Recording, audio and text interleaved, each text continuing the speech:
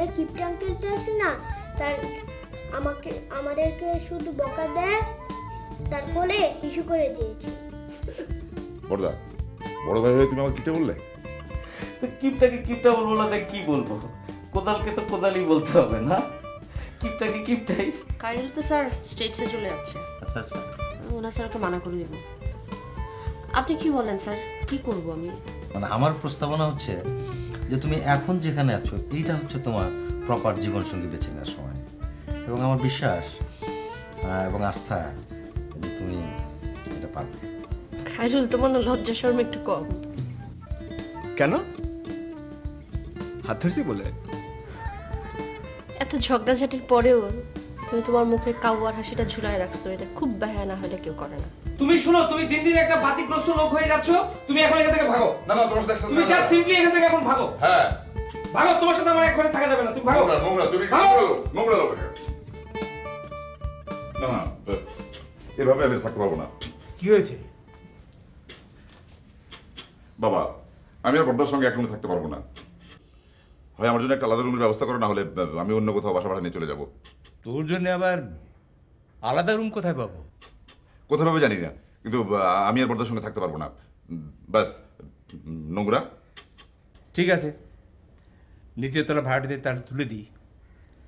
ভাড়াটি তুলে দিলে তো আবার সংসারের উপর একটা ইকোনমিক প্রেশার আসবে।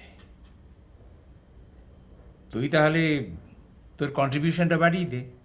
আমি কোথায় টাকা দেবো? আমার কাছে টাকা কোথায়? বর্দাকে বিয়ে দিলে তো তখন তো আলাদা রুম লাগবেই। তো তখন তো ভাড়াটি তুলতেই হবে এখনই তুলে দাও। সেও বিয়ে করলে আলাদা বাড়ি নিয়ে সেখানে থাকবে। ব্যাস। ওই একসঙ্গে থেকে আমি সম্পর্ক নষ্ট করতে চাই না। তো বর্দার তো বিয়ের বয়স হয়ে গেছে।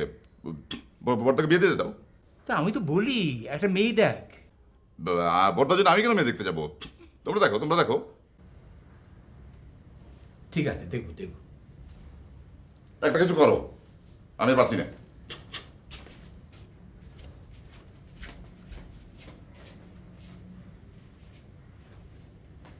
বাবা বাবা তোমার এই ছেলেটা না একদম সাইকিক কেস হয়ে গেছে। কি জাদা বলছিস? আরে ওর মতো সূচিবায়ুওয়ালা লোক তুমি সারা ওয়ার্ল্ডে খুঁজে পাবে। তাড়াতাড়ি চিকিৎসা করাও নইলে এক রুমে থাকি কোন দিন কোন অঘটন ঘটে যায়। কি সব জাদা বলছিস? তোর কথা কোনো ঠিক ঠিকানা নেই। আমি ঠিকই বলছি কাল পরশুর ভিতর ওকে তুমি হেদায়ত ডক্টর হেদায়তের কাছে পাঠাও। হেদায়ত করে দেবে। দেখছ না কীরকম অ্যাবনর্মাল হয়ে গেছে? আচ্ছা বেশ আমি মানলাম ও অ্যাবনর্মাল তুই কি? তোর সঙ্গে কথা বলতে গেলে আমি যদি অন্যদিকে তাকে এক দুই তিন গুণি আবার ফিরে তোর দিকে তাকাই দেখি তুই নেই। তুই তো এক জায়গায় তিন মিনিট স্থির হয়ে বসতে পারিস না। তুই তাহলে কি? আরে এটা তো অস্থিরতা বাবা। ছোটবেলা থেকে দেখছ না আমি অস্থির? আছে আছে। তুই যেমন তোর ছোট ভাইও তেমনি। এটাও এক ধরনের অ্যাবনর্মালিটি তুমিও ওর পক্ষ নিয়ে কথা বলছো? কারও পক্ষে নিয়ে কথা বলছি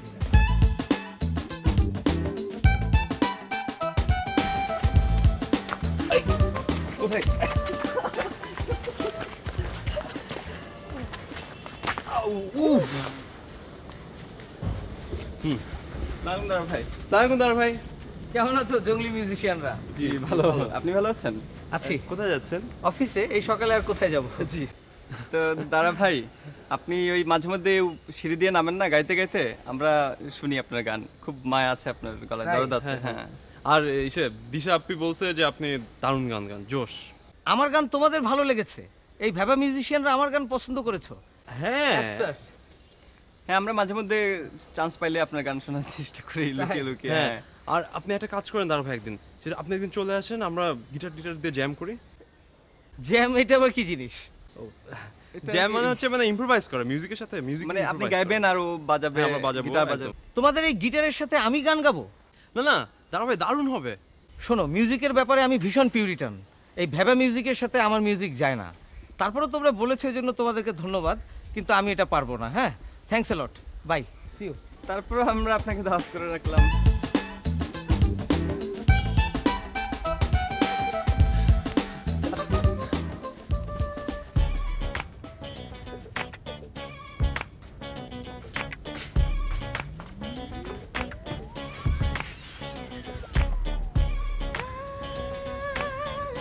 গানটা জোস না? বেশি জোস তো গুড আচ্ছা তুই বাপু বল তুমি আমাকে ভোট দাও হ্যাঁ? তোমার ঘরে আমি থাকতে পারব তাহলে। ভোট দাও মানে ভোট বরপুকে বলো যে আমি তোমাদের সাথে আজকে থেকে তোমাদের ঘরে থাকব। তোমার ভোট দেওয়ার কী হলো? ভোট দিবা না তো আমাকে এখন রাখবে না। শোন ওখানে থাকার জায়গা নেই। আচ্ছা মাটি আছে না? তুমি আমাদের আদরের ছোট বোন তোমার মাটিতে শুতে দিতে পারি বল ছাদ গিয়েতে থাকব খাটে থাকব। খাটে জায়গা নাই তিনজনের খাট। আচ্ছা ঠিক আছে ওটা পরে ব্যবস্থা হয়ে যাবে ঠিক আছে? তুমি বরফকে বলো তারপর আমাকে ঘরে না তো তোর বক্তব্যটা আসলে কি হলো? শুনো তুমি যদি আমাকে ভোটটা না দাও ঠিক আছে। দ্বিতীয় তো দিবে না। হুম। তোমাকেও দেখতে পারে না আমাকেও দেখতে পারে না। সত্যি কথা যেটা সত্যি কথা বলতেছে। আচ্ছা। তো তুমি বরফকে বলো হুম। তোমরা দুজন মিলে বলো তাহলে আমি ওখানে থাকতে পারব। এটা বলে দেখি বাট আমার মনে হয় না কিছু কাজ হবে। হবে বলো না খালি। এতদিন ধরে থাকতেছি তাহলে তো তোর এমনি থাকতে দিতাম তাই না? এতদিন তো বলি নাই না এখন তো আমি বলতেছি। ওকে বড় পেরে বলে দেখি। Thanks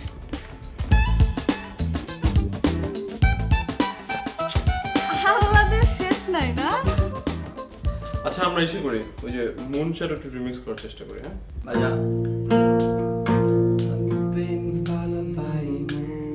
shadow, moon shadow, moon shadow.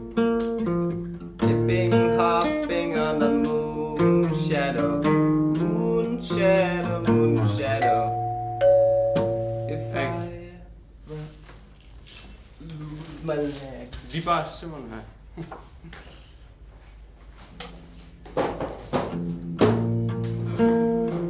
তাড়াতাড়ি যা ভাই কেমন আছেন? ভালো তোমরা কেমন আছো? আমি আপনাকে সাহায্য করি না না লাগবে না তুমি যাও আমি আই দাঁড়া ভাই আপনি আজকে অফিস যান নাই? না আজকে তোমার ডে অফ ও তাই নাকি? হারমোনিয়াম নিয়ে চলে আসছেন। ভাবলাম তোমাদের সাথে একটু কি তোমাদের ওই জ্যাম না কি বলে? আসেন হ্যাঁ। ওটা করি। হ্যাঁ প্রচুর পরিমাণে জ্যাম হবে। ট্রাফিক জ্যাম হবে না তো না না না না না। বাসায় আমরা ট্রাফিক জ্যামের ব্যবস্থা রাখি নাই এটা বাইরে আছে। তারপরে কি খবর? জি ভালো। আপনি ভালো আছেন তো না? আছি। ভাবলাম একটু মিউজিক করি তোমাদের সাথে। হ্যাঁ হ্যাঁ হ্যাঁ মানে এটা তো আমরা খুব খুশি হয়েছি আপনি আসলে আমরা অনেক আশা তো করছিলাম ঠিক আছে আমি হারমোনিয়াম দিয়ে শুরু করি তবেও গিটার দিয়ে ধরো আমার সাথে। জি দাঁড়া ভাই একটা মানে এটার সাথে টিউন করতে একটু টাইম লেগে যাবে তো। এসে আমরা এসে করি। আরেকদিন করলাম আজকে আপনি একটু গিটারের সাথে গিয়ে দেখেন কেমন লাগে। গিটারের সাথে তো আমি কখনো গাই নাই যদি অসুবিধা নেই বা আপনি আপনি গান অসুবিধা ভালোই হবে আপনি স্কেল বলে দিলেই হবে। আচ্ছা হারমোনিয়াম তো ইয়ের সাথে তো দাঁড়িয়ে গাই? জি। গিটারে তো আবার না দাঁড়িয়ে গাইলে ঠিক জমে না। ঠিক আছে। কোন স্কেল থেকে ধরবো? তুমি ধরো আমি দেখি। হ্যাঁ? না। আচ্ছা এক এক সেকেন্ড, হ্যাঁ। এটা ঠিক আছে।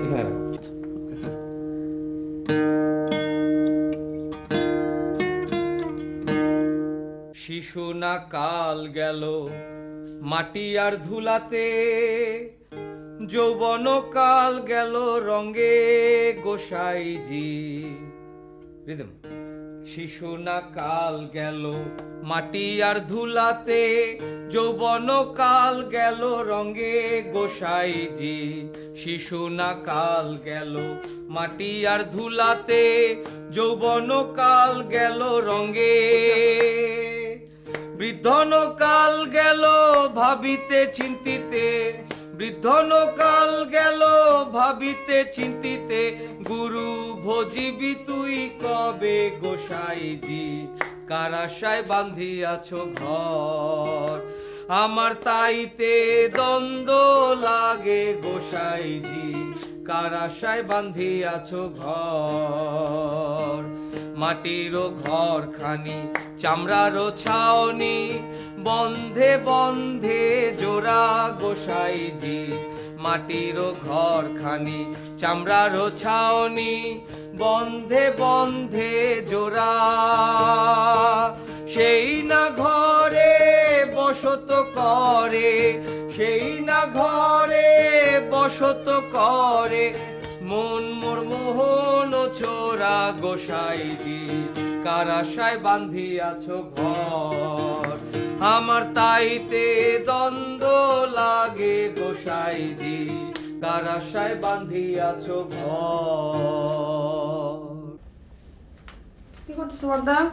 একটা গান লিখছি। আজকে থেকে অনেক গান টান করলাম। যেখানেই যাই বুঝেছিস? আমাকে গান গাইতে হয়ই। আচ্ছা ওদের দুজনের মধ্যে অয়ন ভালো গায় তাই না? কই? ও তো কোনো গান গাইলো না? কি বলো ও তো ওদের ব্যান্ডের ভোকালিস্ট ব্যান্ডের আবার ভোকাল তবে ওই রাফি নামে ছেলেটা আছে না কল্পর মামা গিটারে ওর হাতটা বেশ ভালো। আমি তো মুগ্ধ একটা গানও গাইলো। ওর ভিতরে কিছু ট্যালেন্ট আছে। হারমোনিয়ামের সাথে গেছো না গিটারের সাথে গেছো আমি হারমোনিয়াম ছাড়া গান গাইবো?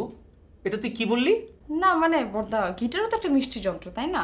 শোন হারমোনিয়ামের একটা আলাদা ব্যাপার আছে। হারমোনিয়ামের বিকল্প হারমোনিয়ামই। তো অয়ন কি করল বর্দা? ও তো খুব ট্যালেন্টেড ছেলে যতদূর আমি জানি। আরে কিসের ট্যালেন্ট ও তো গুড ফর নাথিং রাফি ছেলেটা ভালো গিটার বাজায় ভালো গান গায় ওর কিছু কোয়ালিটি আছে। তবে আমি ভাবছি আরেকদিন ওদের গ্রুপে সবাইকে নিয়ে বসবো। কেন বর্দা? দেখতে হবে না। এই যে সারাদিন কি সব ধুমধাম ভাম ভুম ঝুমঝাম করে এর আউটপুটটা দেখতে হবে না? ভালো। ডেট ফিক্স করছ কবে যাবা? না এখনও করি নাই। যেদিন জমা নিয়ে যাও প্লিজ ঠিক আছে দেখব। সরি ডিস্টার্ব করো। কি হ্যালো শোনো। বলো। দেখো মানে তুমি যতই ভাতিজা ভাতিজা করো না কেন বিয়েটার ব্যাপারে কিন্তু এবার আমি খুব সিরিয়াস সিরিয়াস এমবিএর রেজাল্টের অবস্থা কি? রেজাল্ট রেজাল্ট কোনো ব্যাপার না। আমি যেখানে ইন্টার্নশিপ করছিলাম they are very happy about my performance আচ্ছা। আমি ওদের সাথে জয়েন করছি। শোনো তুমি মডেলিং করতে চাও ঠিক আছে কিন্তু পড়াশোনার ব্যাপারে তোমাকে সিরিয়াস থাকতে হবে। এবার অনার্স রেজাল্টটা খুব ভালো করতে হবে তোমাকে। কারণ এই মডার্ন সময়ে একজনের চাকরিতে সংসার চলবে না দুজনেরই কাজ করতে হবে। একটা চাকরি পাইতে না পাইতেই হাজবেন্ড হাজবেন্ড ব্যাপার না। তো এত যে হাজবেন্ড হইতে যাইতেছো বড়দেরও তো ইমপ্রেস করতে পারল না। ইমপ্রেস করতে পারলাম না মানে? ওদিন একসাথে গান টান করল না তোমরা? তারপর হ্যাঁ। বড়দারে জিজ্ঞেস করতেছি তোমার পরে বড়দা বলছে তুমি গুড ফর নাথিং রাফি হয়েছে ট্যালেন্টেড উনি নিজেই তো একটা গুড ফর নাথিং এমন একটা পত্রিকায় কাজ করে সারাদিন বাজারে খুঁজেও এটা একটা কপি পাওয়া যায় না। এক্সকিউজ মি সাবধানে কথা বলো তোমার বড়দা হইতে যেতেছে ওকে সরি বেবি আচ্ছা কাজ করি বড়দাকে একটা সালাম আলাইকুম মেল করে দেয় গুড ইমপ্রেস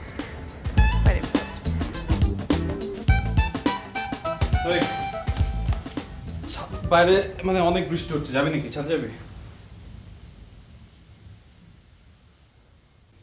তো রাস্তা তো ক্লিয়ার হয়ে গেল। ক্লিয়ার মানে? ক্লিয়ার হয়ে গেল মানে হ্যাঁ। তোর সম্বন্ধিত তোর গিটার অনেক পছন্দ করছে। আমার সম্বন্ধীকে? দাঁড়া ভাই। মানে কি বলিস যাতা তোর সম্বন্ধে আমার উপর চাপাচ্ছিস কেন? তুই মনে করছিস তোর দিদি এর কথা আমি জানি না না? অ্যাফেয়ার দিদির সাথে আমার কিচ্ছু নেই কিচ্ছু না একদম কিচ্ছু না। আচ্ছা তুই যেটা বলতেছিস সেটা বল। ওই যে দাঁড়া ভাই আসছিল না গান শোনাইলো। তো দীপার কি জিজ্ঞেস করছে আমরা কে কেমন করি? আচ্ছা। তো দাঁড়া ভাই বলল আর কি তুই নাকি বেশ ট্যালেন্ট আছিস। আচ্ছা আচ্ছা। তো তোর সম্বন্ধে কি বলছে সেটা বল। আমার সম্বন্ধে কিছু বলতে লাভ নাই। আর বলিস না। কেন যে শালা গিটারটা শিখলাম না? প্লিজ হ্যাঁ কেন? শালা সরি সম্বন্ধী। বলল আমি নাকি গুড ফর নাথিং তুই একটা কাজ কর। তুই একটা গান রেডি কর যেটা তুই সবচেয়ে ভালো পারিস। ঘর নড়বড় করে। এটা কর এবং এটা করলে দাদাভাই ইমপ্রেসড হবে একদম। কোনো ব্যাপার না একদম ইমপ্রেসড হবে এবং তারপর বলব যে you are good for everything so বিয়ে করার জন্য হলো চল গানটা প্র্যাকটিস করি। হ্যাঁ মানে খুবই অদ্ভুত ব্যাপার যাই হোক। অদ্ভুত ব্যাপারটা কি? এই যে বিয়ে করার জন্য গান শিখতে হচ্ছে তোমাকে। হ্যাঁ আর পরীক্ষা। দাদা ভাইকে পরীক্ষা বেবিকে পরীক্ষা বড় ভাইকে পরীক্ষা অফিসে পরীক্ষা এম পরীক্ষা যে কত পরীক্ষা দিতে হবে। হ্যাঁ বেসতে যাওয়ার আগে কিন্তু একটা পরীক্ষা দিতে হবে। একদম পুলসিরাত বুঝছিস তো? হ্যাঁ বেসতে যেতে হলে ফুলসে রাত পারাতা চিন্তা করিস না তুই। তোর কাজ হচ্ছে শুধু পরীক্ষা দেয় পরীক্ষা দিয়ে যা। রেজাল্ট নিয়ে চিন্তা করতে হবে না। তুমিও প্রস্তুত হও। আমার তো কিছু না। আচ্ছা, আমি আমি জানি না তোকে কীভাবে বিশ্বাস করাতে হবে কিন্তু সত্যি। শোন শোন আচ্ছা শোন না তুই তিরির সাথে কিন্তু হ্যাঁ সত্যি নাই। হ্যাঁ আমি তোমার চোখ দেখলে এডিট করতে পারি। প্লিজ দেখ না, ভালো করে দেখ এই কেমনে এভাবে তাকাবো? কি- কি দেখা যাচ্ছে? দেখা যাচ্ছে একটা পোকা ছেলে হ্যাঁ। কেঁদে কেঁদে গিটার বাজাচ্ছে উপরতলা মেয়েটার জন্য। প্লিজ আমি না আজকে। কেউ আসবে না এখন তুমি থাকো একটু আচ্ছা ঠিক আছে আমি একটু বসতেছি। হুম। আচ্ছা দেখো যে তোমার সাথে আমার দু একদিন পর পর দেখা হয় তো আমার তো পাঁচ দশ মিনিটের জন্য। আমার একদম ভালো লাগে না। অসহ্য লাগে। তুমি একটা মোবাইল নিয়ে নাও তাড়াতাড়ি। মোবাইল? হ্যাঁ। এখন? হ্যাঁ তাহলে আমি ক্লাস থেকে ফোন করতে পারব ক্লাস থেকে বের হয়ে ফোন করতে পারব। তুমি উপর আমি নিচে। মন চাইলে কমিউনিকেশন নো প্রবলেম মাশাল্লাহ মন চাইলে কমিউনিকেশন শুনো, এখন মোবাইল নেওয়া যাবে না বুঝছ? এখন মোবাইল নিলে অনেক ঝামেলা হবে। ইউনিভার্সিটিতে ভর্তি হয়ে তারপর মোবাইল নিব। দেখো না, দীপা মোবাইল নিছে বুঝছ? সারাক্ষণ ঝাড়ি খায় এই মোবাইলের জন্য। দীপা বকা খাচ্ছে না? ও তো ইসে পরে মোবাইল নিছে। ও বকা খাচ্ছে না? এখন মোবাইল নিলে না দীপা তো আমার পিছনে সারাদিন ঘুরঘুর করে। ও ঠিকই বুঝে ফেলবে যে আমি বারবার কার সাথে কথা বলি। ও ঠিকই বের করবে বুঝছ? তারপরে কি করবে? আমি তো এখন ওকে ঝাড়ির উপর রাখি। ও যদি আমার ব্যাপার তোমার ব্যাপার মানে বুঝে ফেলে তাহলে ও আমারে ঝাড়ির উপর রাখবে। কোনো ব্যাপার না। আরে ব্যাপার কোনো ব্যাপার না। আরে ব্যাপার তো তারপরে পুরা মানে সবাইকে জানাই ফেলবে। বলে ফেললে কি হবে? কিছুই হবে না। কারণ কি জানো? তোমার বাসায় এখন আমার ইমেজ খুবই ভালো। তুমি কেমনে জানলে? আমার বসে তোমার ইমেজ খুব ভালো। সিরিয়াস শোনো সেদিনকে দাঁড়া ভাই আসছিল। দাঁড়া ভাই এসে আমার সাথে রয়নার সাথে অনেক গান বাজনা করছে। তারপর যখন রাত্রেবেলা দীপা যখন জিজ্ঞেস করছে যে কী হইল তখন বলছে যে অয়ন হচ্ছে একটা গুড ফর নাথিং আর আমি হচ্ছি ট্যালেন্টেড আচ্ছা বর্দা আর দীপার মধ্যে কথা হয়েছে। হ্যাঁ। তুমি কেমনে জানলা এইসব কথা? তার মানে কি হলো? তুমি অয়নের কাছ থেকে কথাগুলো জানছো। তার মানে অয়ন থেকে কথাগুলো জানলো? নিশ্চয়ই দীপা বলছে। এখনও তাহলে তার মধ্যে আর মানে দীপা আর অয়নের মধ্যে যোগাযোগ হয়। আমি যখন তোমাকে জিজ্ঞাসা করি যে অয়ন আর দীপার মধ্যে যোগাযোগ হয় কি না? তুমি কি বলো? অ্যাভয়েড করো কথাটা। আমি না তোমাকে বলছি সব ইনফরমেশন আমাকে দিবা। আমি আমি তোমাকে এখনই তো বললাম মানে আমি জানার সাথে সাথে তোমাকে বলে দিচ্ছি তো। আমি যা জানি আমি সাথে সাথে বলে দিই। শুনো সব ইনফরমেশন আমাকে দিবা বুঝছ? নইলে। কি হবে? নইলে তুমিও গুড ফর নাথিং হয়ে যাবা। আমি সাথে সাথে বলে দিই তো সিরিয়াস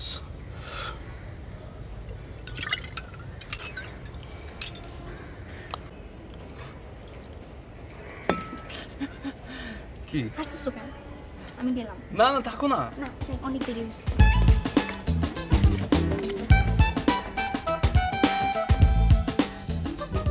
এত নাচ প্র্যাকটিস করলে দুদিন পরে নাই হয়ে যাব আর নৃত্য শিল্পী হইতে হবে না। তুই না অল্পতেই টায়ার্ড হয়ে যাস। আই দীপা দেখ তো ভুরুটাকে প্লাগ করতে হবে নাকি? ভালো মতোই করতে হবে উঠেছে? তাই?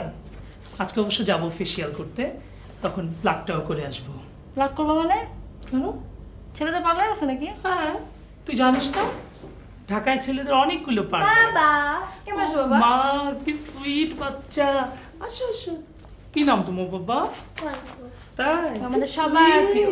তাই নাচ শিখবা? না। কেন? আমাকে মেয়ে যে আমি নাচ শিখব। কেন? নাচ কি শুধু মেয়েরাই শিখবে? হ্যাঁ। ছেলেরা নাচ করে না? এই যে দেখো আমি নাচ করি। তোদের মেয়ে আর কি হবে? তোর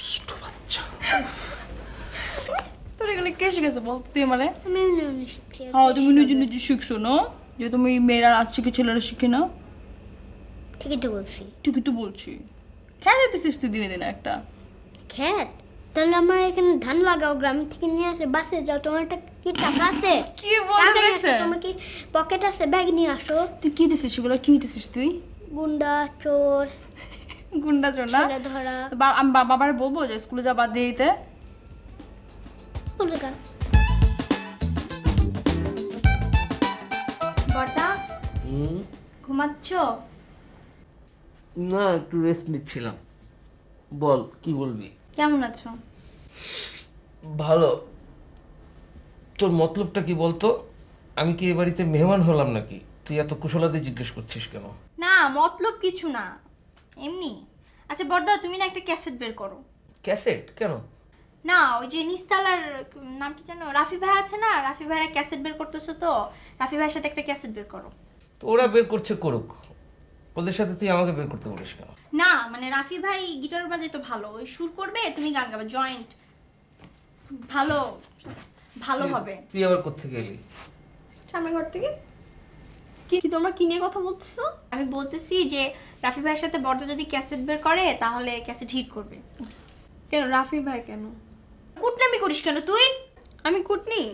আমি যদি কুটনি হতাম তাহলে তো আমি আগেই বলতাম যে তোমাকে আর রাফি ভাইকে আমি অনেকবার ছাদে দেখছি। কি বললি তুই? বর্দা না বর্দা দেখো আমি ছাদে কাপড় তুলতে যাই এখন রাফি ভাই যদি বসে থাকে এখন অভদ্রতা না যদি কথা না বলে আসি তাই হাই হ্যালো বলি তার সর আর কিচ্ছু না বর্দা। একদিন হতে পারে দুই দিন হতে পারে তবে প্রত্যেক দিন কি? পর্দা ও কিন্তু বেশি কথা বলতেছে। শয়তান কথা যা এখান থেকে। এই তুই সত্যি বলছিস? আমি মিথ্যেবাদী নয়। কবার দেখেছিস? যোগ করতেছিলাম। যোগ? ভাগ। ভাগ এখান থেকে। যোগ করার টাইম পায় না।